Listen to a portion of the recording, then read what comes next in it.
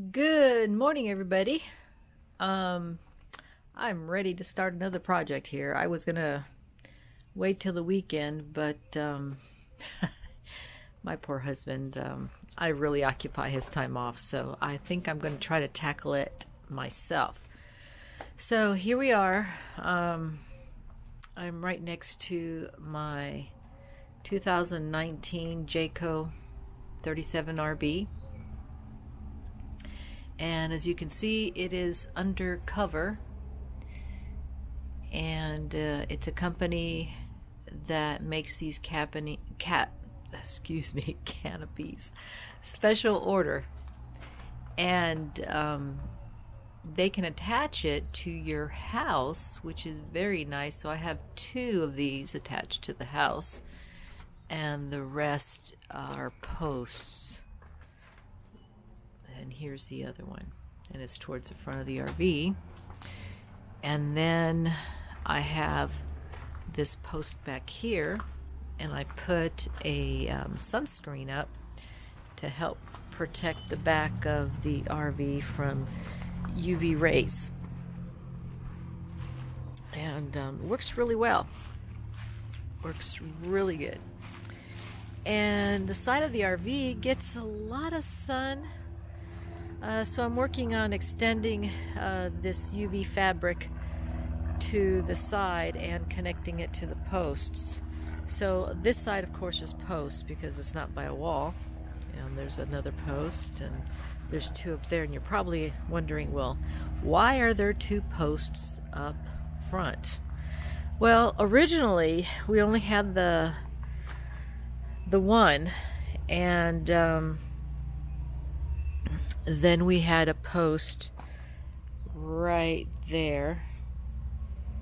But we had them remove it and put a post here. And then because they did that they can only be so far apart. They had to put another post um, up there. And um, the reason we had them move it because we in hindsight, we needed to be able to uh, take this main slide out uh, so we can do, you know, our routine cleaning, our routine maintenance on it. And so uh, we had that done recently. So um, the RV is tucked in for another month. Then we're going to take another trip. And the thing with these RVs is you really shouldn't have them parked um, too long unused because the engine really needs to be exercised. You know, what the old saying is um, if you don't use it, you lose it. Well, yeah, that's what happens. So, this is uh, my project for today coming back around here up front. Um, we cleaned the entire RV, and the only thing that I have left is the front cap right here. And as if you could see, I don't know if it's coming out on video, but there's still some leftover um, bugs, bug guts on there. I mean, I cleaned it as best I could, um, but it's really difficult to control the uh, cleaning rod um, being that it's so long and a little bit um, cumbersome and and a little bit heavy. So I need to be able to somehow get on top of the hood by some sort of scaffolding so I can finish cleaning that. So I figured out what I'm going to do. So um, I have a piece of of two by I believe it's two by twelve. Two by twelve by twelve. Is it twelve feet? No, by ten feet. Two by twelve by ten feet long. And um, I'm going to put it across two ladders, and that's going to be my scaffolding. Um, the thing is, the front of the RV is approximately, I want to say seven and a half feet in width. And um, the it's not quite long enough. So I do have a, a piece that I picked up at Home Depot. It was a scrap piece, and they do have a scrap pile that they don't sell, but people who just want a piece can, you know, of whatever size, and they can use it. They they give it away. They say, yeah, you can have it, take it home. So that's that's pretty neat. I didn't know about that until recently. So uh, several months ago, I did pick up a scrap piece, and I think I'm going to go ahead and screw it to this piece to extend the length so I can put two ladders on either side of the front of the RV and then put the piece of wood over the ladder so I can um, do what I need to do to the front cap. Now, I did pick up um, some items that is going to help me make sure that those pieces don't move. And I'm going to be attaching these items to, yeah, I have my sunscreen over here. do a lot of work outside and I have to protect myself. So, boy, I really packaged this well. So I'm going to put these at the end of the pieces of wood to kind of um, keep it from sliding off the ladder rung. So if I put this on the end, let me let me show you real quick. Like so. And that way it won't go off the rung and I can possibly injure myself. So it's going to be two on each either end of the um, 2 by 12 okay so that's the plan. So let me stop this so I can get the other piece and attach it and I'll get back with you soon. Bye.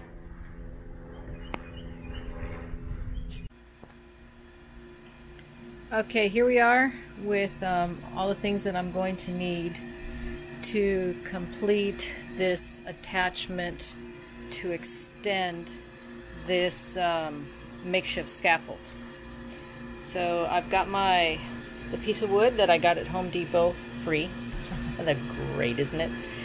And um, I've got my bits. I've got my um, this.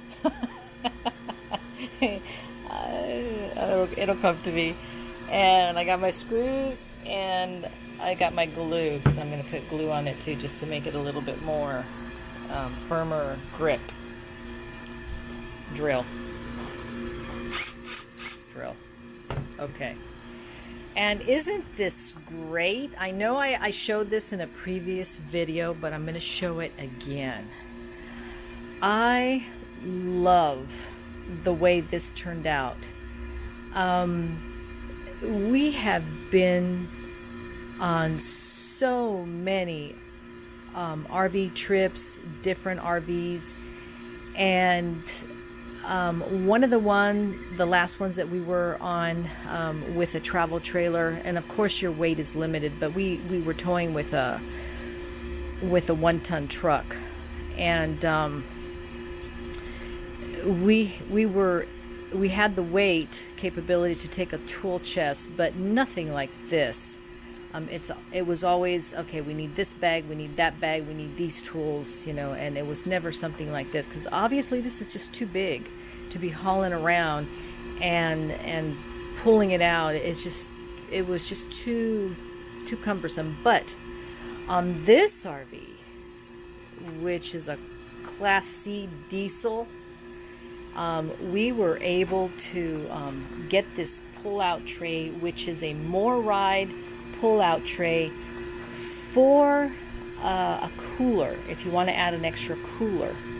Um, that's what it originally was made for, but when we looked at the description and we looked at the measurement of the tray, we said, you know what? We can fit this tool chest on there And of course, we took the dimensions of the tool chest, the, height of the tray, what, how, what we needed to do. Uh, it needed to clear um, this bottom part right here. We needed for this to clear it. So we had to raise it a little bit with this one, uh, one by six right here. And it raised it just enough where this slider was over that. And of course, um, the tool chest had to sit a little bit higher on the tray. And there's a gap right here because it's sitting on a couple pieces of wood. Um, and those are like one inch thick. Now we did have to shave it a little bit because this bottom tray had to clear this lip. So it does clear it, we have to just pull it on a little bit, but it does clear it. Um, and of course, not so high that then we have trouble with this clearing the top. And of course we had to center it because we have this odd angle to contend with. So all in all, you know, tweaking it here and there, we made it happen and all of the tools are now consolidated in one area. And it's just amazing. I can't tell you how excited I am. Um, these are metric and US measurement. And um, you know all the wonderful sockets and yeah and then the bottom one if I can get get it past there. There we go. See? All that in there. It's just wonderful. Wonderful. Wonderful. Because before, and it does clear, guys, so don't. There it goes. Whereas before, uh, where is this tool? Uh, where's the drill? Uh, where's the bits? Uh, where's the sockets? It was just all over the place. All over the place. So with this, we are very excited. And we have even room on the side for, um, my husband put this in there, which is fine. And then back there, we have a torque wrench. And we use that torque wrench to uh, torque down uh, lug nuts. it's always something. So, and the neat thing about this, and I know I talked about it before, is look at this strip and it also has USB. So you connect it, it has um, this plug back here, and you can connect it under here, and I know exactly where to connect it. And then you can charge your batteries to your power tools, um, charge your phone, charge your camera, you know, all kinds of, of things. So I'm really excited. So let's go back to the project. okay. So I got all the stuff ready and uh, let me uh, go ahead and get that done and I'll get back with you later. Okay. Signing off.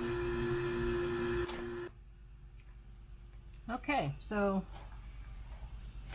I thought I'd show you how I do this. Um, I've already applied the glue and um, I, I stuck the first four screws on there. Now I'm going to finish with the rest. You don't want to put too few because this is going to support some weight.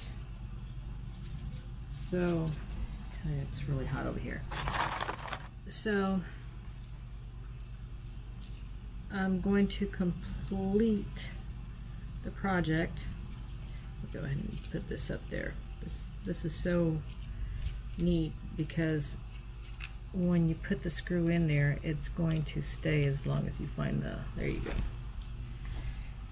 Well, now of course it doesn't want to work. okay, there we go. There we go. So let me start at this end.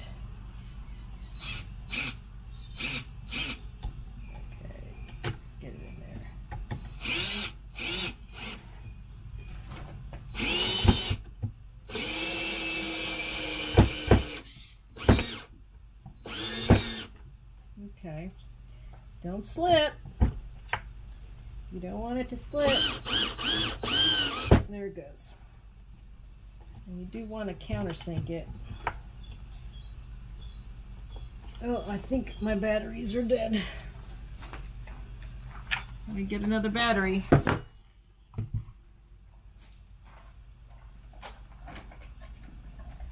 hope this one's charged.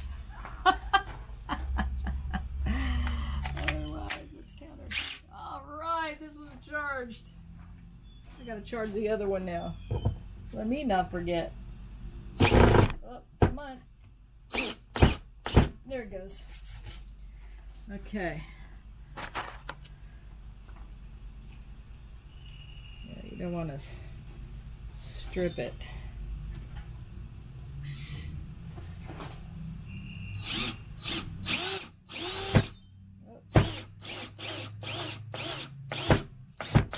There it goes.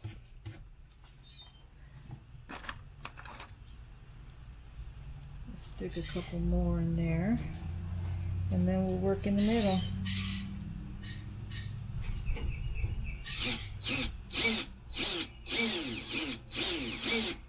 Come on, get in there. There it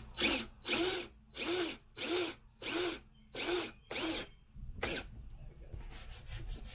See if I can sink this one in a little bit more. Come on. There. Don't want to strip the head. Not that it's going to come out anytime soon, but you know.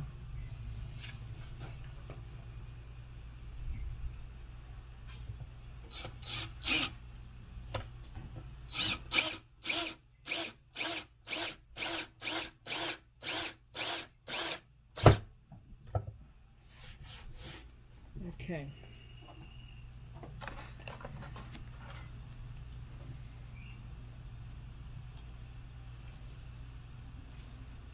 We get the middle.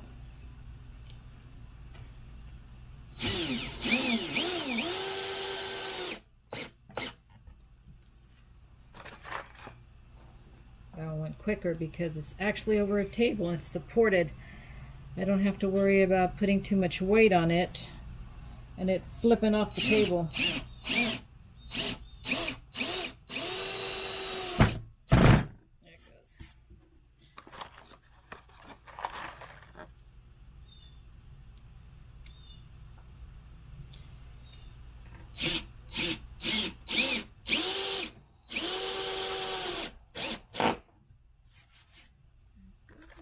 And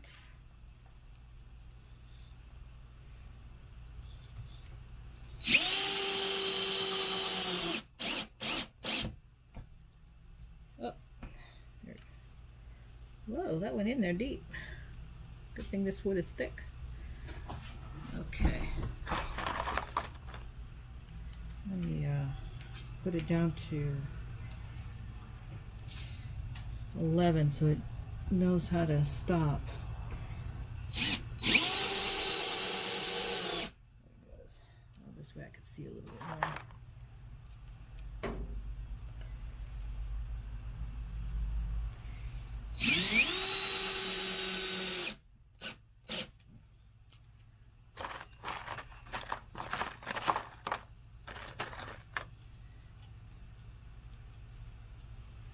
Last thing you want is for this piece of wood to come right off when you're standing on it.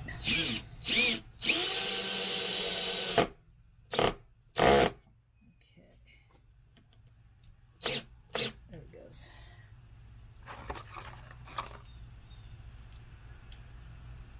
Ooh, I got a hole in my glove.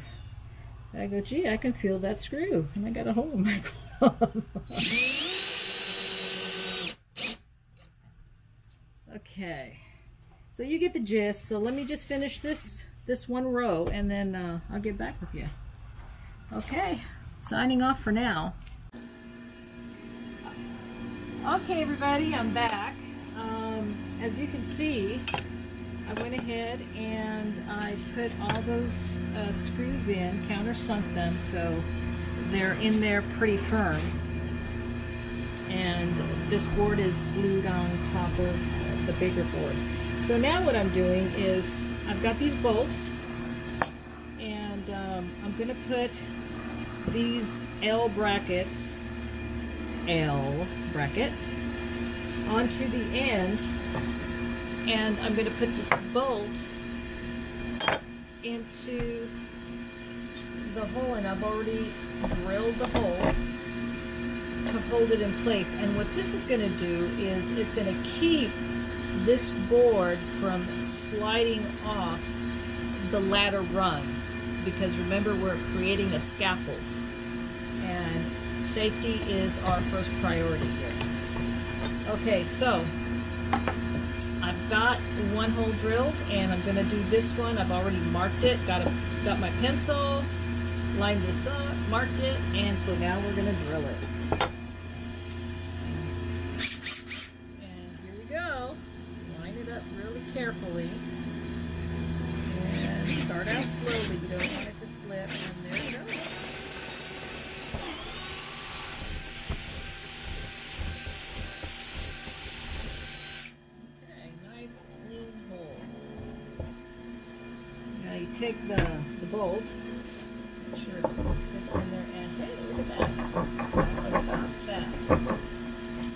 So you get your plates, and you get all your hardware. I have lock washers and bolts and nuts and clean washers. So now we're going to put all those things together.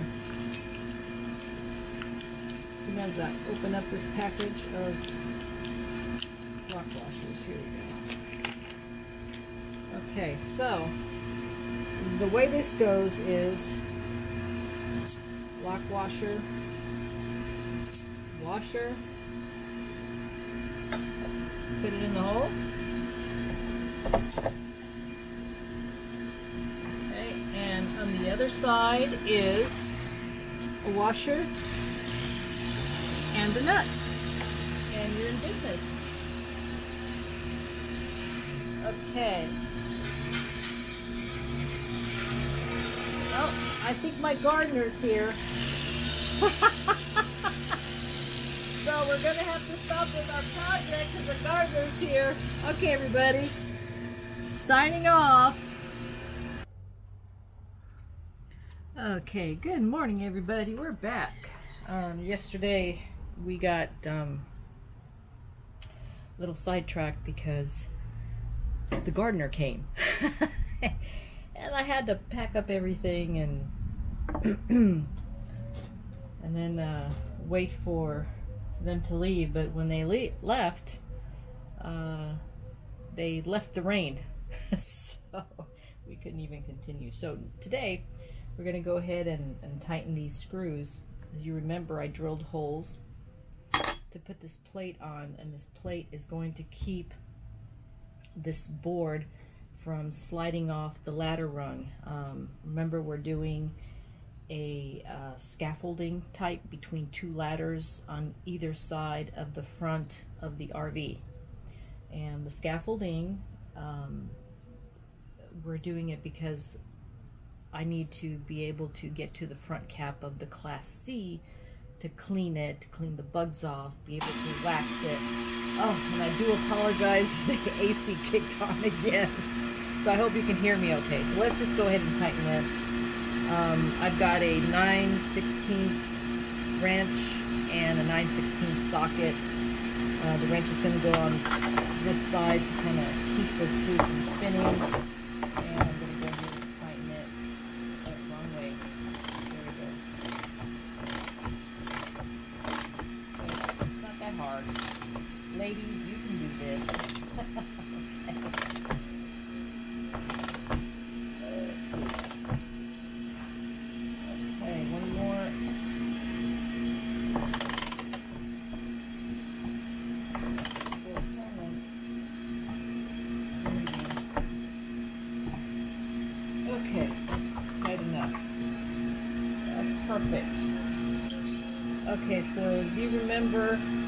well, there won't be a break in this video, so you remember what, um, what I put on here. Lock nut, washer, um, and then a washer and a, a nut on the other side. This thing is pretty sturdy. So, um, let's finish off the other one and then I'll do the other end.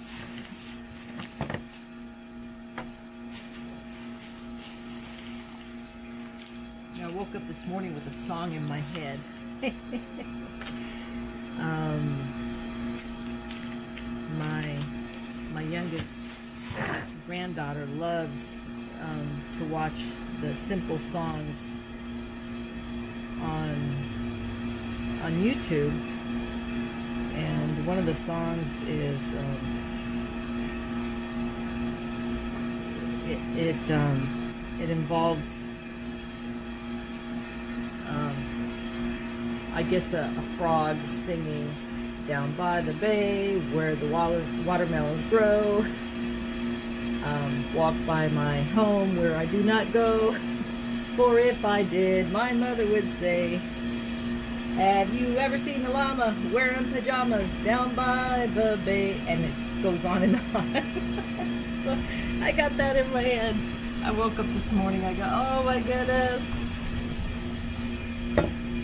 Grandkids give you a, a new lesson on life. They're wonderful. Okay. Got that there. Washer, nut.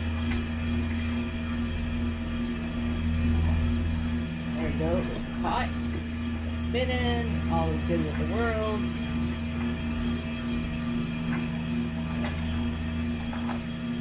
on, get on there, catch. Okay, it did. Here we go. Let's finish this one.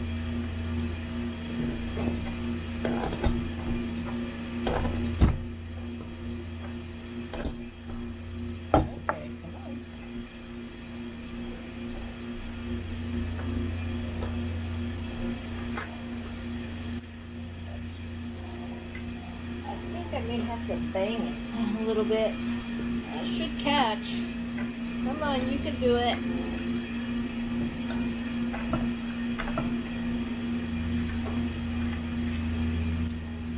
Okay, I'm gonna have to bang it a little bit. So let me get my little hammer here.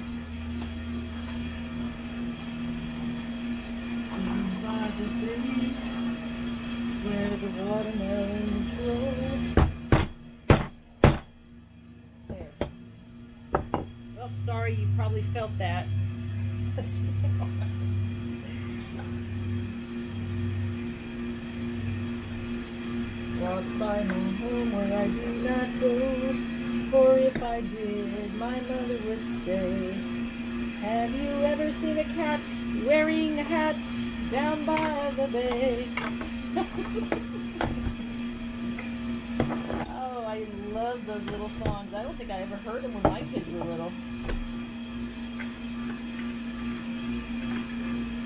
Okay. Still not wanting to. Hang on, I'm gonna bang.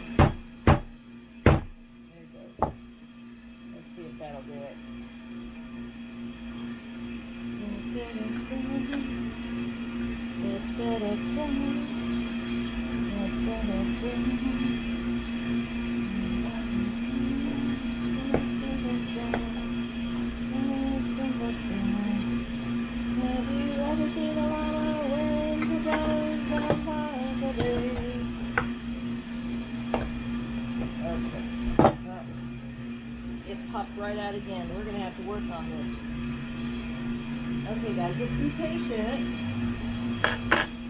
It'll, it'll work. Because the other one works. So, let's see if I can just hold it, spin it. Come on. You can do it.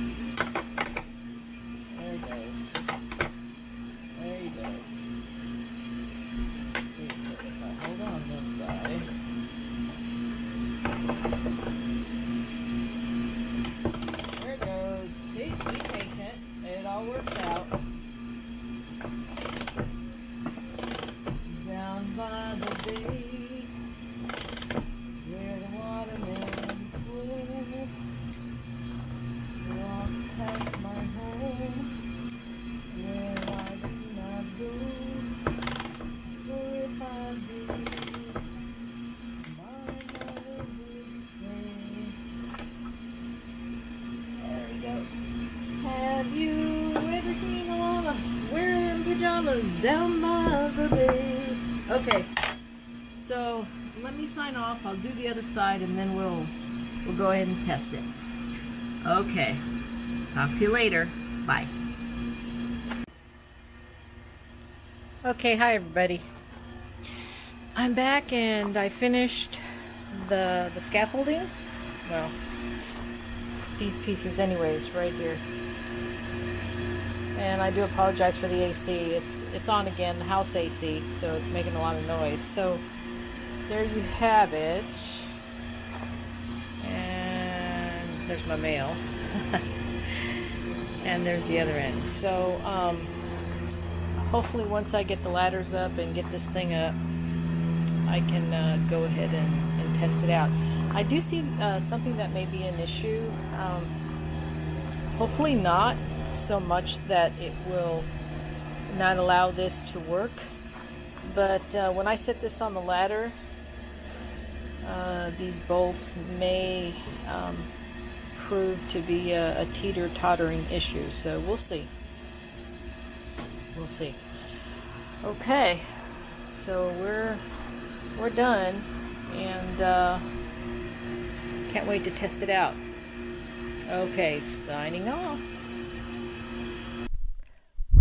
By the bay, where the watermelons grow, walk by my home.